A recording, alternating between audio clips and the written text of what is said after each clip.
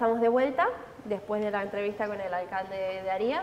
Hemos conocido su versión, tal y como habíamos anunciado, después de la versión que ya había dado Chasila Sinis de compromiso por Aría.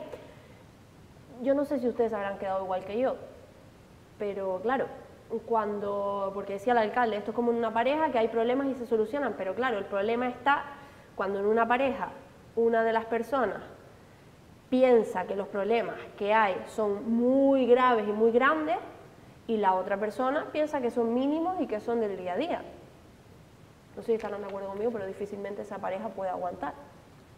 Veremos qué es lo que ocurre en el grupo de gobierno de Aría. De momento vamos a presentar a quienes me acompañan en la jornada de hoy, que también tendrán que comentar y podrán comentar acerca de este asunto, a ver si opinan o no, igual que yo. José Ramón Sánchez, delegado en la isla de Canarias 7. Muy, buena. Muy buena. ¿Qué, ¿qué opino de esto? ¿O merecemos ir presentar a Domingo? Eh, vamos a presentar a Domingo y ahora, pero por supuesto me vas a comentar también tu opinión. Y Domingo Rivero, compañero periodista, muy buenos amigos. Sí, porque si no mamulo. que vienes directamente del magazine. Sí que por enlazarlo con Aría, claro, nosotros, has tenido a Facundo. Nosotros hemos tenido al personaje más importante de Aría, que es el don Facundo, y tú has traído ahora mismo al político más importante de Aría, que es el alcalde. El alcalde. Pero... Facundo creo que tiene menos problemas que el alcalde, y eso que la que le espera este fin de semana es buena. ¿eh? Pero mira, lo tiene asumido. Ah, lo tiene asumido, sabe cuál es su papel, y en la vida es fundamental también Igual que en un grupo de gobierno es fundamental saber quién es el alcalde y quién es el teniente de alcalde o teniente de alcalde. O sea, lo, que pasa es la diferencia. Y eso a lo mejor en Aría a lo mejor no eh, tienen claro cuál es el papel de cada uno. En, en Aría pasa que los políticos están quemados desde ya y Facundo estará quemado el fin de semana, ¿no? Sí, sí, sí. que por cierto le dije que, que, a ver si hacían la iniciativa para declarar hijo predilecto a don Facundo, porque oye... oye. No, yo creo que se lo merece. Poca broma, sí, sí, porque además luego se reencarna el buen hombre. Y después otra, ¿no? Y que viene volverá, ya verás. la única vez en, en, toda su historia que ha salido del pueblo de Aria, no del municipio, del pueblo, de la olla y de todos esos sitios, es a venir a Biosfera Televisión. Somos ¿En serio? Oye, pues eso te iba a decir, eso, es para que... Vino el año pasado y vino el Para, para, que, para entrar en los análisis de la historia... Porque ya él se siente a gusto aquí. El cronista oficial tiene ya que, tenerlo bien, bien... Tiene también su ego, ¿no? Es un personaje que tiene su ego. Somos unos privilegiados. Ha repetido, con lo cual eso es que le gustó la compañía y estuvo muy cómodo. Bueno, y ahora, hablando en serio, hablando en serio pues si, si, era en serio, ¿eh? Entonces...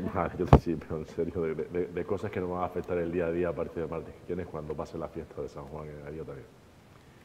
Eh, que el gobierno de Aría esté en crisis, eh, es que yo creo que lleva en crisis desde hace siete mandatos ya. Desde que Juan Ramírez la montó parda y, tuvo que intervenir el, el Tribunal Supremo de Justicia de Canarias para ordenar eh, la celebración de un pleno porque no quería dar el bastón de mando a Juan Acuña, yo creo que eso es vamos, cíclico y crónico a ver, un pacto de varios partidos, es normal que haya desavenencias, pero si precisamente ahora es cuando mejor están para tener eh, desarrollar políticas.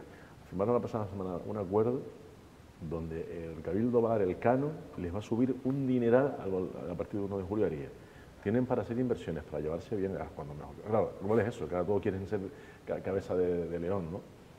Hombre, yo creo que en este tipo de pacto, lo que pasa es que en el anterior mandato no resultó, pero ahí en en algunos municipios, por ejemplo digo el de Gran Canaria Interior, que llevan eh, eh, la alcaldía compartida durante dos o tres mandatos y funcionan perfectamente. Es decir, ahí la palabra, la palabra del, político eh, funciona. En Aría lo normal hubiese sido a lo mejor también un pacto de eso, sabiendo que que al final prefiero estar dos años bien que cuatro mal. Pero es que eso ya se intentó y no funcionó. Técnicamente hablando... Hombre, no se funcionó por, no, se funcionó por otra, por, por la plataforma, pero en teoría compromiso por haría, nunca mejor dicho, si tú das tu compromiso, podía funcionar. Pero no, como no se fía a nadie, es decir, ya a partir desde ese momento, desde el pacto ya hay un no me fío. además, ahora tú que vives en el municipio, tú sabes que siendo un pacto de gobierno con varias cabezas visibles, todas tienen protagonismo en el municipio, que sí. La gente sabe quién es alcalde, pero saben perfectamente quién es Marcos Lemes por, por no alcalde, saben que no digamos ya así ni la que fue alcaldesa por el compromiso, y saben la posición con la plataforma con Evelia, que fue la alcaldesa, y con, Pepe Torres, que además está ya, parece ser, y me alegro mucho, bastante bien repuesto de los problemas de salud que padeció eh, hace unas pocas semanas. Ya está, la gente sabe lo que hay. Mira, sea lo que sea y ocurra lo que ocurra, mm, eh, claro, porque cuando pasan este tipo de cosas no nos vamos a engañar, cuando hay discusiones y demás y tanto, siempre se dice, bueno, pero es que tendrán algo cerrado, es que estarán manteniendo reuniones, estarán, como mencionó el otro día Alberto, que eh, a lo mejor ahora viene y nos puede comentar si sabe algo nuevo, todo se va a acabar sabiendo.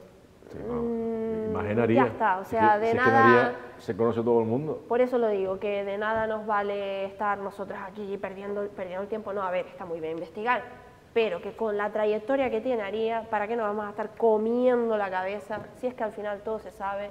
Yo sí digo, y es mi opinión y la manifesté el otro día, yo sí digo que claro, si de una parte me dices que las cosas están fatal, que el alcalde no me deja hacer nada, que, el día a día es mm, prácticamente imposible, que incluso me has negado que me pueda ir a una reunión mm, con determinados consejeros y no más, no más pago el billete, lo que sea.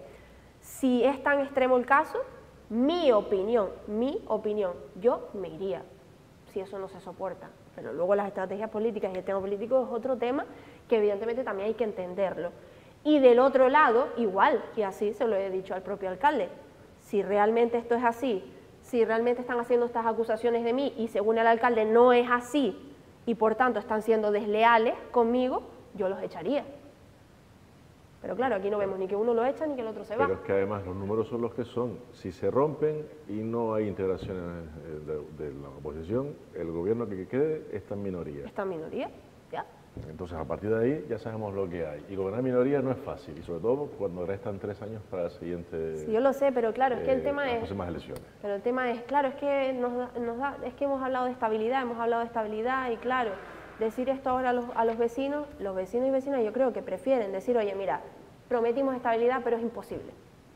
Y ya está, y ser, y ser sincero y decir, pues, pero de alguna manera manera. Pasamos página, porque lo, que sea como... Mira, había lo que bien dice Domingo, que, que en ese sentido entiendo que es admirable, lo que sea, que nos llamen y ya nos enteraremos, vamos a dejar tiempo al tiempo. Sí, sí, desde y eso, ya, eso domingo además es una máxima que... Si no, en la vera de San Juan ahí cabe mucha gente, ¿eh? ahí podemos meter, mira que no se puede quemar gente ahí en esa hoguera. El primero Facundo. Eh, déjame que el salude a Alberto Acosta, muy buenos días Alberto, buenas tardes, buenas tardes ya, buenos días, que como no hemos comido, pues disculpen, pero buenas tardes. Alberto, que viene directamente a la destiladera. Sí señor, yo tampoco he comido, así que podríamos decirte buenos días tardes o algo así. Sí, algo así. Eh, el caso que estábamos hablando de Aria, porque acaba de marcharse el alcalde, Alfredo Villalba, hemos estado hablando con él, nos ha ofrecido su versión y no sé si tú conoces algo nuevo por allá por el norte. Lo que yo te estaba contando es evidente, eh, que Chasirasi necesita tener una excusa para romper esto, que mm, hemos visto cuando muchas ocasiones, en muchos gobiernos a lo largo de la vida, cuando de repente un socio de gobierno que estaba tranquilo, que no pasaba nada, y de repente, ¡ah, me matan, me violan, me asesinan, tal!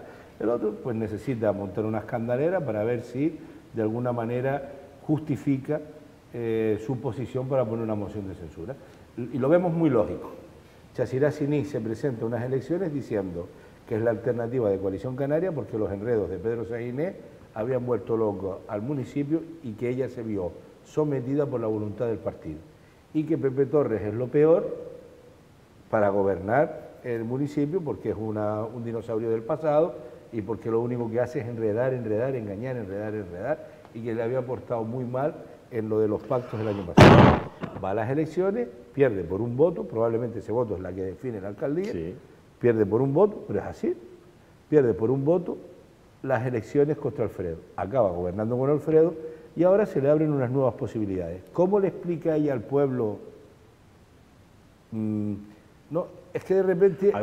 si, agarras el bastón de mando, mm, tienes tiempo de explicarlo. La cuestión es, estuve gobernando... Para romperla, para romperla. claro, claro. Para romperlo. Pero es que en su propio partido, y eso lo conocerá Paula, que es del norte, en su propio partido, es que la, matan, entiéndame, entre comillas, nadie va a matar a nadie. La matan con esto. Acuérdense lo absurdo que fue la anterior moción de censura contra Alfredo Villalba, protagonizada por Chasirá Siní, que es de las cosas más vergonzantes y más engañabobos que he visto yo en mi vida, que vamos a poner una moción de censura por aprobar un procedimiento en el que estamos de acuerdo. Era una cosa, ¿se acuerdan? La Cueva de los Verdes, que acabó rompiendo su propio grupo político, que una se le marchó, otro, otro votando en contra, tal, no sé cuántos se abstuvieron. Acuérdense de aquel disparate. Y acabaron culpando de aquel disparate a Alfredo. Ahora, seamos realistas, Chasirá Siní eh, y Ambrosio, que son, por llamarlo así, Ambrosio es el coche teledirigido de Chasirasi, eh, son los que están montando el Cristo. ¿Para justificar el qué? Ay, qué malo es el alcalde con el que llevo gobernando. Espérate, un año y medio en la primera legislatura, que después cuando se fueron se arrepintieron de haber roto con el PSOE y lo decían por todas las esquinas, igual que tú lo viste, Paola, lo decían por todas las esquinas. Llevan un año gobernando con esto, un año y algo, y es el mismo. O sea, llevan dos años y medio y ahora vuelve a ser un asesino. Mira, tú quieres la alcaldía, te importa tres pepinos el municipio y quieres reventar y llevas dos semanas poniendo, lleva dos meses con tontería y dos semanas poniendo esto. ¿Para qué? Para que alguien te cese porque queda muy feo explicar eso. Vale, y, ahora voy y Alfredo no lo va a cesar. Eso iba a decir, ahora voy justo a eso. ¿Tú siendo Alfredo no los echarías? Vamos a ver, hay, hay, una parte que... Yo, yo insisto, yo sé, a ver, eh, tampoco no soy tan ilusa, aunque no entienda de, a la perfección de estrategia política, evidentemente hay estrategia política y mm, entiendo también que de la otra parte, que es del Partido Socialista, en este caso por parte de Alfredo, se trate de aguantar la situación. Pero claro, si realmente es hasta estos puntos de que lo que se hace por el otro lado, según eh, comentas Alberto, es constantemente intentar ya lo viendo y trabajando a ver cómo traicionamos al alcalde. Hombre, digo yo que, yo soy el alcalde y digo, mira, hasta luego. Tienes un déjà vu, ¿no? O sea, esto ya lo vivimos con la cueva. Con más razón, si es así. O sea, bien, aquí hay dos cosas que son fundamentales en la historia de Aría reciente, que es la imagen que tú puedes dar. Porque no te olvides que tú ahora podemos, tú y yo ahora podemos estar teniendo una opinión y dentro de dos años lo ves de otra manera. Y dentro de dos años una tal Chasirá Sinis te puede venir con toda la cara dura, igual que dijo, igual que dice ahora que, que Alfredo Villalba es pues yo qué sé, ya que el Destripador, eh, te puede decir, es que me cesó por unas declaraciones. Yo no tengo derecho a equivocarme por unas declaraciones, porque cuando pase un año o dos años, las cosas cambian mucho y no me vi en otra situación ante un acto de agresión de este tipo que poner una moción de censura. Alfredo está en su casa respondiendo a su alcaldía y a su estrategia política. Y su estrategia política es, yo me levanto a las 5 de la mañana, a las 6, a las 7, a la hora que se levanta Alfredo, no tengo ni idea, voy al ayuntamiento, me pongo a trabajar. Y si tú no quieres hacer tus tareas, ya estás marchándote, porque también te puedes ir tú. O sea, no te tengo por qué echar yo. De la otra manera, ¿qué quiere significar esta?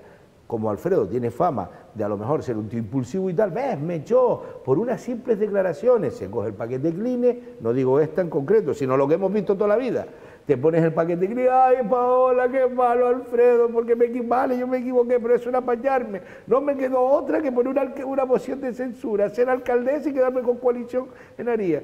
Es que lo hemos vivido en la política. Pero a ver, pero vamos a ver, pero que Alfredo tendrá palabra y tendrá, y tendrá sus pruebas y tendrá sus argumentos y no los ha dado. Quiero decir, espero, supongo que, si llega ese momento lo dará. ¿qué, prueba va a tener? Que va a estar con un, con un tío grabándola.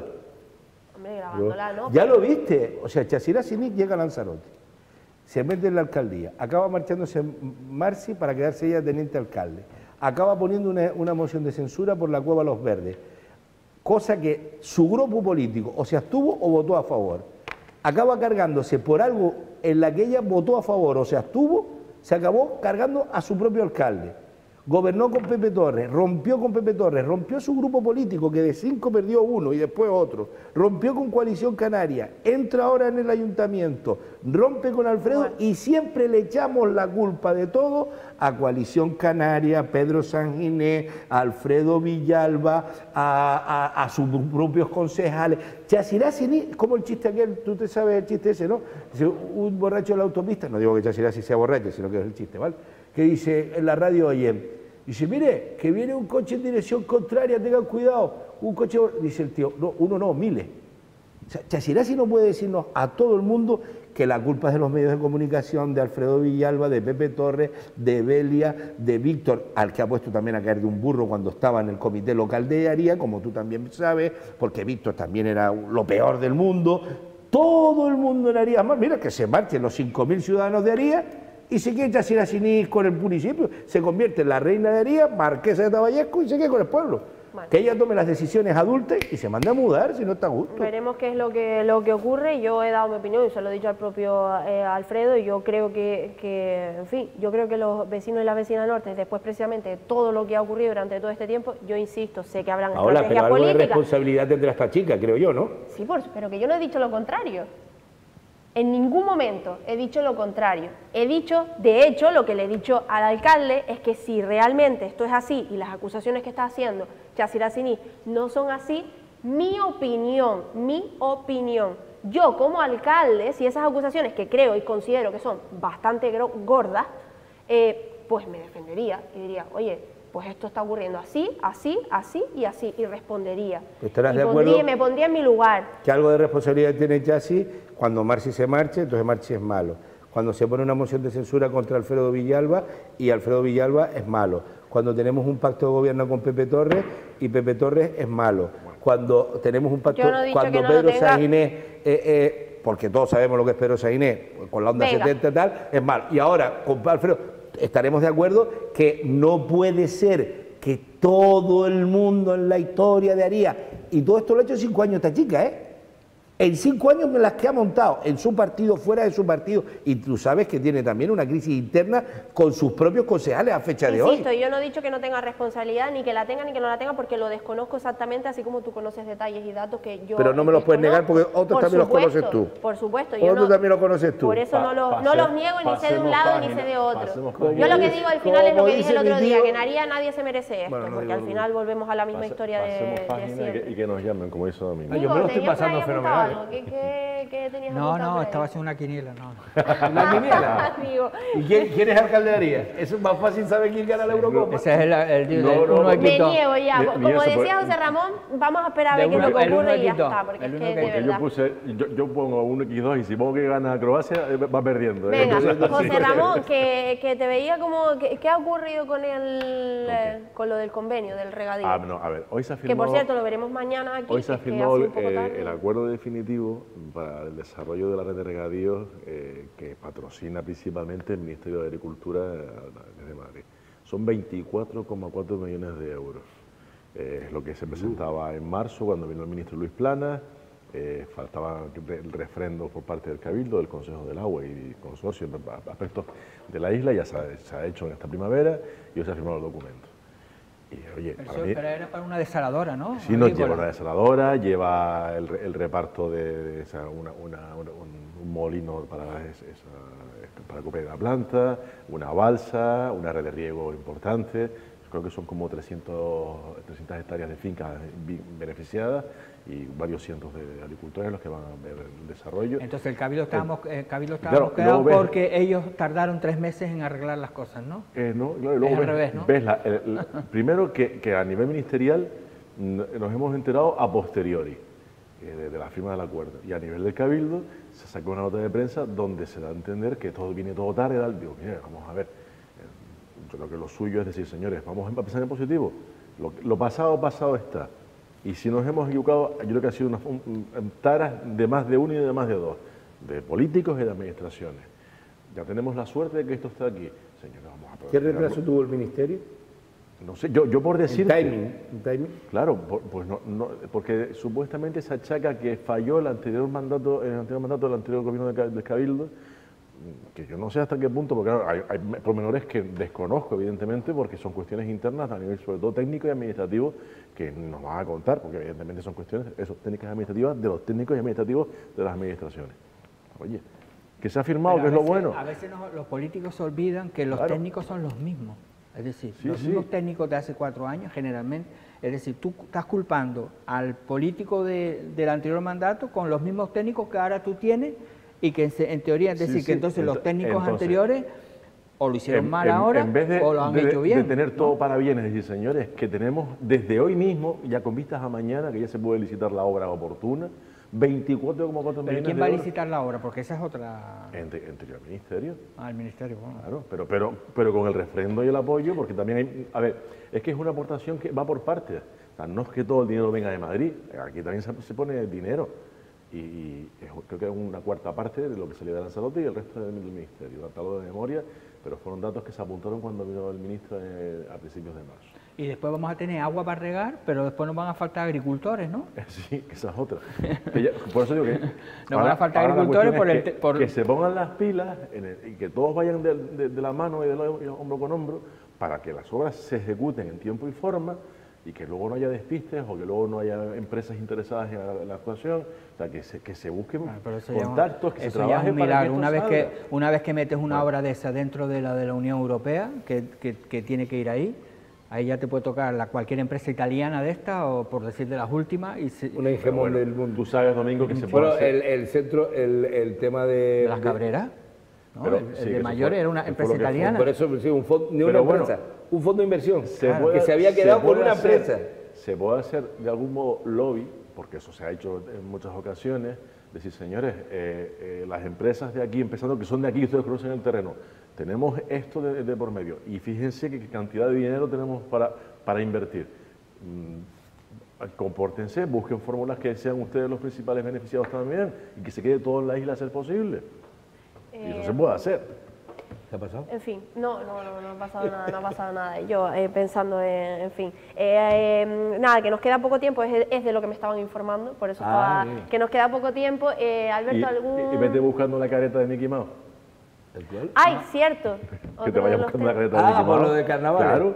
bueno, que somos súper originales y que ha ganado Disney. el mundo mágico de Disney. El mundo mágico de Así Disney que para el carnaval no, del próximo podrás decir, año. No podrás decir, no voy a salir de mi casa porque no tengo disfraz. Pues Eso no. es verdad. Eso no vas a poder Yo decir. hubiera puesto el mundo mágico de Donald Trump. Bueno, que eso, que somos súper originales y que ha ganado eh, Disney, en este caso, para Ocho- el carnaval del año que a- viene. Ocho temas han sido. Se, Ocho se- temas. se ofertaban Lo ocho es opciones. Pues solo- eso, súper solo originales. Disney- Solo Disney puedes hacer 200 carnavales. A mí nunca se me hubiera ocurrido Disney. No, la verdad que a mí tampoco, desde luego. No, Hay que tener mucha imaginación. Pero ha sido votación popular, ¿eh? por, además por internet, y oye, lo que 22% de, de- Claro, pero si tú pones Disney, las otras siete. es decir, una. La marca pero- Disney tira. pe- Pero, fue una votación popular en base a unos temas propuestos o es que Sí, salió- sí, o no, ocho Claro, temas. Si ya tú pones temas. Disney, pues claro. Y no era Disney. Disney, Disney, lo otro era Saigón siglo XVII. eh, no. Venga, era- que nos vamos. Alberto, ¿algún, No, no, algún no. destrozo nuevo en la desfiladera? Con el agua, el rollo. El agua. Rollo de agua, claro, claro, la gente riendo, sí. Y Y, con y por cierto, y el tema gordísimo que publicábamos en Economus, en La Voz de Lanzarote, que es gravísimo.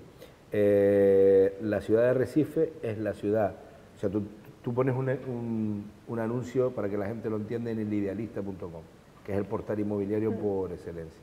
Entonces, eso no tiene trampa ni cartón.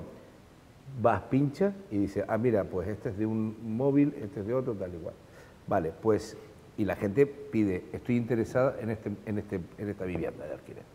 Bueno, pues el sitio de España donde más gente compite por un apartamento, por un piso en alquiler, es Arrecife. Por cada piso de alquiler que se saca Más, más del doble que el segundo. Escucha, por cada piso de alquiler que se saca en Arrecife, hay 126 familias que piden estoy interesado en ese piso. 126 candidatos Brutal, por cada piso que se ofrece. brutal. Yo creo que, bueno, yo en este caso eh, daría dos licencias más a hoteles, que son fundamentales para arreglar esto. Solucionar. No, Pondría pero- una, cua- pero unas está cuantas claro que lo villas de la vacacional sí hay que arreglarlo. Hay que regularlo alguna Una cosa, uno por 126. O sea, grave, 126 familias por cada piso. Pero y esos pisos con unos precios nada bajos. No, no, perdona, míralo tú, en el idealista hoy por hoy en, la- en Arrecife, ni de un dormitorio por debajo, de un dormitorio por 600 pavos. Como te vayas a un piso de tres dormitorios, dos baños, en una zona medio tal igual, con su piso, brutal, mil y pico pavos para adelante. Es brutal. Y esto, eh, o sea, yo no sé, a lo mejor corríjame ustedes, pero es que esto ha cambiado, o sea, ha cambiado a un nivel, o sea, rapidísimo. Porque Claro, yo pero- recuerdo, por ejemplo, cuánta- mira, hoy yo salió- recuerdo, por ejemplo, cuando estaba estudiando, que no fue hace tanto, y yo recuerdo como que me iba a Madrid, lo típico, a buscar piso y demás, habitación, y decía, ¡buah, qué No, pero, burrada! Paola, ¡Qué burrada! Y ahora, Paola, pero Paola, por salido, favor. Paola. salido unos datos de creo que al día es, en Canarias más de 60 o 70 casas están todos los días de vivienda vacacional. Es decir, casas hay. Eh, Pero sí, al ritmo que van, la gente está transformando pisos en vivienda vacacional. y hasta garaje, Paola. y hasta garaje nos contaban el otro día. Paola, tú date cuenta que no sé qué año te fuiste tú a estudiar fuera, Pues pero te digo ahora mismo, lo que me cuentas, pienso. Sí, en el 2008 se produce el el- el- la quiebra inmobiliaria, en septiembre de 2008 es la, la crisis de Lehman Brothers, que arrastra fundamentalmente a la economía en el 2009 y los desahucios empiezan en el 2010. Entonces tú tienes un momento del 2010 al 2015, eh, el Banco Central Europeo se equivoca subiendo tipos de interés y fomenta Lo que se arregló en, en Estados Unidos en tres años, nosotros tardamos seis años en arreglarlo por culpa de políticas disparatadas, que fue subir el tipo de interés en un momento de crisis. Esto es un poco más complicado. Entonces, lo que te quiero decir es que en el 2015-2016 empiezan a colocarse otra vez viviendas en el mercado. Y hasta que el mercado asumió todas esas viviendas que estaban en quiebra, que estaban abandonadas, la vivienda fue relativamente barata. ¿Cuándo empieza otra vez a subir la vivienda de forma disparatada? 17, 18, 19, que se paraliza por la COVID. O por ahí, por ahí. ellos- Claro, después tienes un veranillo de San Juan, entre comillas, con muerte y destrucción, que es del 20 al 23 y del 23 para adelante este disparate. Pues sí, hace unos, eh, calculo yo que unos 8 o 9 años, por ahí aproximadamente. me Pues, fui, ¿eh? No cuando terminé, en el sino cuando momento me fui. donde o el mercado estaba quebrado o bien empezaba a recuperarse. De tal manera que, claro, en todo ese momento, tú, tú date cuenta, un duplex en Costa Teguise te costaba ahora 300 mil euros. En aquella época los ponían a la venta los bancos en 120 mil euros y la gente no se los compraba. Brutal, brutal. Eso pasó. Bueno, nos tenemos que ir. Gracias Alberto, Domingo y José Ramón. ¿Y entonces qué hacemos el lunes? Nos vemos, ahora te lo cuento, cuando se vayan las Pas- cámaras te lo cuento. Pasarlo bien, ¿no? A Porque no- no soy quien para decir qué hacemos el lunes. A mí no me espere, a mí no me espere. Alberto no lo, pero bueno, pues uno menos. Juan, oye. Uno menos. Bueno, a todos ustedes se los, cuento- muy bien en Eurocopa. se los cuento mañana que haremos el lunes que o, el, o el viernes, se los contaré a todos ustedes y a ti te lo cuento ahora. Eh, gracias a Venga, los tres. Venga. Por cierto, que mañana, decía Domingo, hablando del tema de, y claro, y, ca- y- y en busca de agricultores y cada vez habrá menos agricultores. Pues sí, eh, mañana trataremos ese tema porque, por ponerles rápidamente en contexto, parece ser que la Consejería de Educación, parece ser no, ha habido claras intenciones porque eso ya, ya ha llegado oficialmente a quien tiene que llegar. La Consejería de Educación del Gobierno de Canarias quiere eliminar eh, por completo, mm, bueno, no sé la cantidad exacta, pero muchísimos ciclos que tienen que ver con el sector primario en Canarias. Y en el caso concreto de Lanzarote, que tenemos cuatro ciclos, tres en el Sonsamas y uno en Teguise, pues se quieren zampar los tres del Sonsamas, así, del sopetón. Mientras promocionamos el sector primario, nos las damos de que queremos ayudar al sector primario, etcétera, etcétera, etcétera. Bueno, pues mañana tendremos aquí, en tiempo de entrevista, nos salimos de la política para hablar con dos de los principales afectados, que son dos profesores del Sonsamas y del eh, Teguise. Con esto nos vamos, con invitándolas a que regresen, por tanto, mañana con todos nosotros. Buenas tardes.